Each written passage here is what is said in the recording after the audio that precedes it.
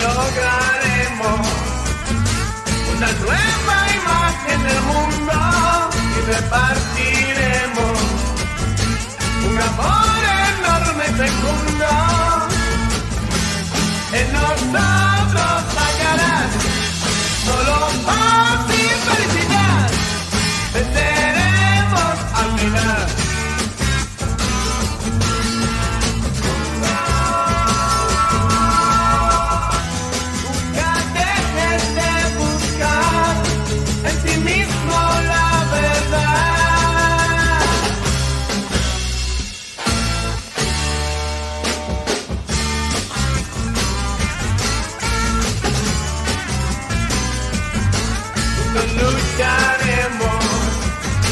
contra todo lo establecido, contra lo que hiere, el amor que hemos repartido,